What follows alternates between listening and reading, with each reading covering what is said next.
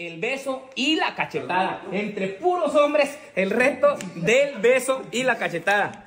A ver, ¿dónde está la feria? Este, aquí hay 300 varos. Este, se los va a llevar el que lleve más besos y más cachetadas. O más cachetadas y más besos, como sea, pero el que lleve más. Aquí voy apuntando el nombre de cada uno. De Isaac, Nasa, Nessa, Rolando, Ramón, Jonathan, Giovanni, Flaco. Aquí están todos ellos.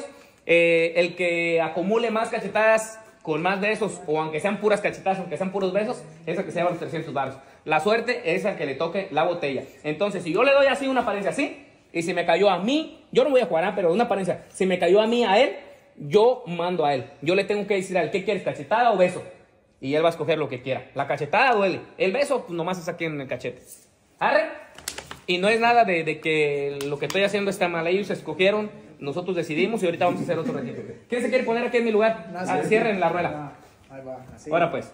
Yo mismo voy a aventar la botella. Ah, que les toque. Ahora pues, ahí va. Ah, empezamos. No mames, cabrón, de verdad. De verdad, tú solito te quemas, güey.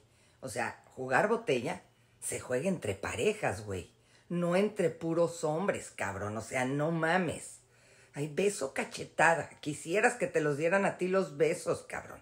Pero, o sea, no mames, güey. Deja de pervertir a los niños, cabrón. No mames. En serio, en buena onda. Deja de hacer esas pinches mamadas, cabrón.